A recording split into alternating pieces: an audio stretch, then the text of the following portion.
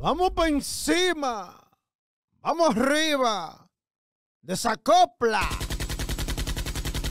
Vamos para encima. Viene bomba. Buenas tardes.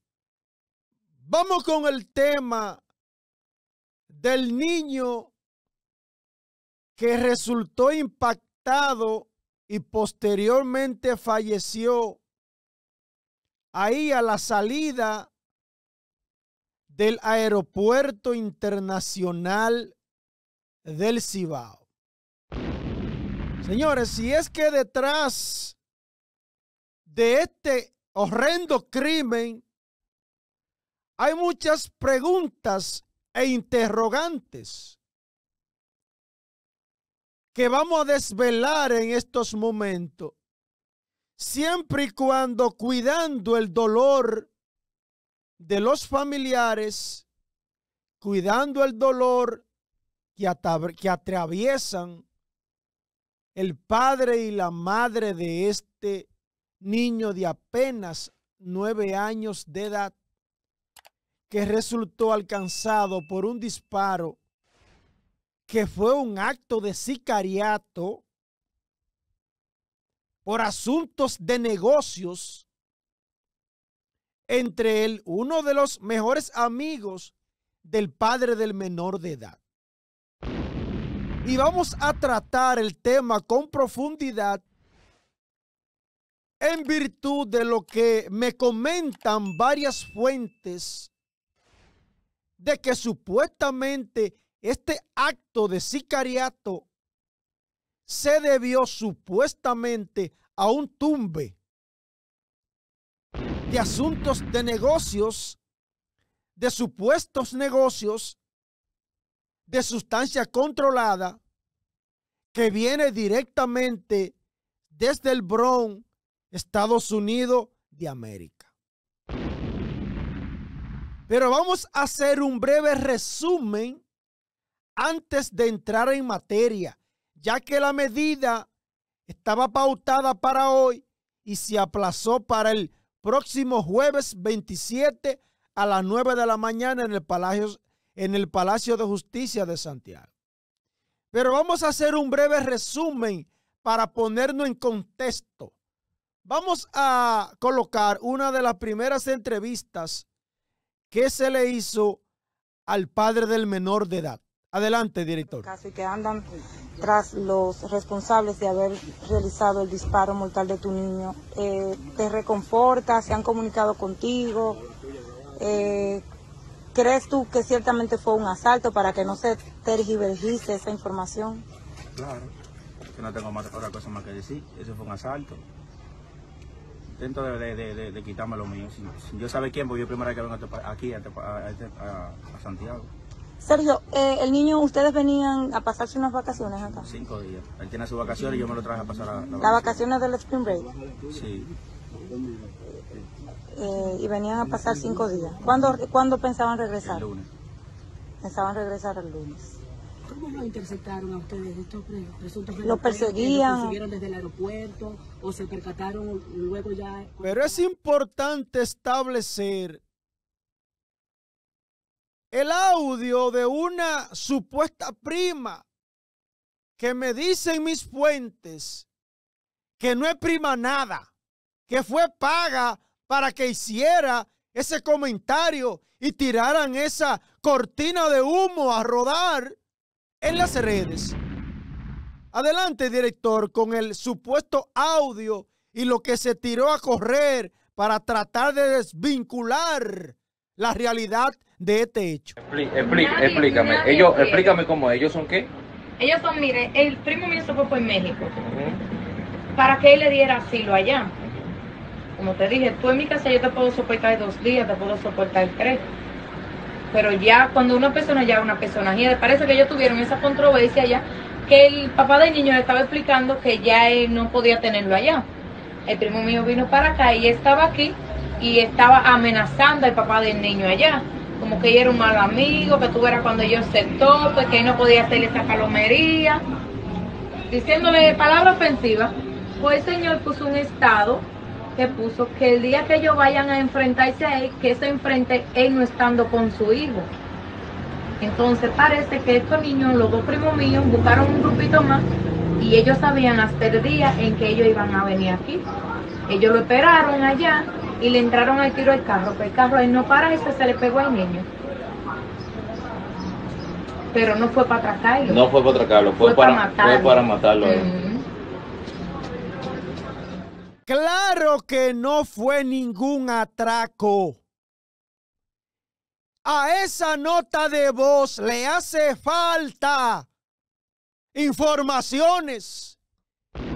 Y me comenta una fuente que supuestamente estaban envueltos en negocios de venta de sustancia controlada.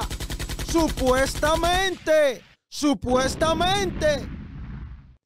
Y que ese lío viene desde allá por el alto volumen, crecimiento que ha obtenido el padre del niño asesinado.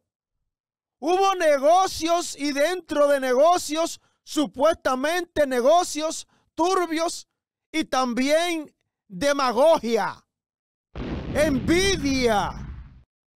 Como todo en la vida, señores, todo en la vida puede suceder.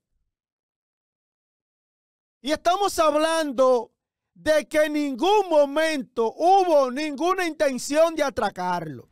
Las informaciones que tenemos, como lo detalla parte de la medida de corrección que la vamos a presentar en breve momento, fue que hubo supuesta situación de tumbe y que le estaba dando seguimiento a la llegada que este muchacho llegara. Tenían ubicado número de vuelo, horario, ticket y todo lo tenían ubicado. Y es que se armó de una vez y se le ordenó a este muchacho que contra al, al, al mejor amigo que contratara un equipo de sicarios para que eliminaran al padre del niño. Le dieron la coordenada y todo, el vuelo y todo, la hora que llegaba. Resulta ser que este muchacho contrató a unos sicarios novatos. Dentro del grupo solamente había un sicario. Los otros eran novatos. Y es en ese momento cuando van por la circunvalación de Santiago que ejecutan. Pero previo, colóqueme la fotografía del servicio y la inteligencia que le hicieron desde el aeropuerto internacional del Cibao y también contrataron, rentaron un vehículo, una rencar, un Sonata blanco que fue desde una rencar con el que eh, llevaron a cabo el hecho. Adelante, director. Mire, ese fue el Sonata que se rentó en una rencar con el que se ejecutó el hecho. Pónganme las fotografías. Miren, ahí están el servicio de inteligencia del grupo en pleno aeropuerto internacional del Cibao. Continúa, director. Señores, vamos ahora, baje director, con la medida de coerción en exclusiva.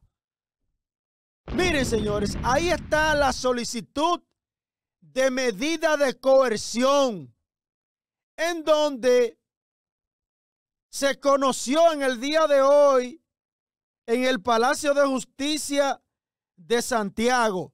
Miren, ahí están los nombres, la solicitud de medida en contra de Tomás Peña, alias Tomasito, que ese es el mejor amigo de la, de la hoy víctima del padre del niño asesinado, Delin Javier Mercado, Luis Ángel Vargas Brito, José Manuel, y comparte César y comparte. Dele hacia abajo, Master. Miren, señores, Coloque la fotografía de cada uno. Ahí está. Ahí está Tomasito. Ese es el primero, Tomasito. Ese es el del conflicto directo con el padre del niño malogrado. Con ese que se establece el negocio. Entre ellos dos era que existía el negocio. Adelante, director. Continúe. Y vamos a dirigirnos hacia los hechos fácticos de la medida. Ahí está las generales de la víctima, el padre del niño, Sergio. Aquí, haga un, un stop ahí, miren. Hechos que sustentan la presente solicitud. Miren, vamos a leerla de manera breve, los hechos establecidos por el propio Ministerio Público. Dice, que entre los imputados Tomás Peña, alias Tomasito, y Derlin Javier Mercado y demás, se generó una amistad o cercanía que tuvo como origen el tiempo que vivieron en la ciudad de Nueva York, Estados Unidos. Amigos que no obstante, en el curso del imputado, en el caso del imputado, Delin Javier, haber regresado de manera definitiva a la República Dominicana a principio del mes, de este mes del año 2023. Y que en el caso del imputado, Tomás Peña, Tomasito, alias la bujía, al encontrarse de vacaciones en la República Dominicana, que de aquí fue que se ubicó todo, desde el 27 de marzo de este año. Mantenían comunicaciones en ocasiones para dar seguimiento a los negocios. Oigan bien, entre Tomasino, entre Tomasito para darle seguimiento a los negocios que los unían para coordinar actividades sociales que realizaban con la víctima Sergio Luis había una relación de negocios, lo que el propio Ministerio Público no ha identificado. Señores, vaya aquí. Había una relación de negocio, lo cual el propio Ministerio Público se ha limitado a negocios. Y las fuentes mías que han dicho de que supuestamente esos negocios son turbios, que nosotros nos vamos a limitar por respeto a la hoy víctima y el dolor que atraviesa. Pero colóqueme, hágame el favor, otra vez la medida para que ustedes vean que eso venía información con ticket y todo. Dele por arriba directo. Mire, ahí dice, aprovechándose de esa relación, aprovechándose de esa relación cercana y de confianza, el imputado Tomás Peña, alias Tomasito, que ese es el hombre, déjeme la palabra, se mantuvo en comunicación constante con la víctima porque llevaba negocio a cabo. De quien con la intención dolosa logró obtener la información oportuna de su itinerario del vuelo, el cual indica que llegaba al Aeropuerto Internacional del Cibao en el vuelo número B6 137 de la Aerolínea Internacional JetBlue, de la aerolínea JetBlue. Información oportuna y de gran valor criminal que el imputado Tomás Peña, Tomasito, alias La Bujía, compartió con su amigo el imputado Derlin Javier. Y ahí se sigue y se opera. Y es que se materializa el, el hecho. En ningún momento la intención era eliminar al niño de nueve años. En ningún momento era para atracarlo. En ningún momento la intención era atracarlo. No.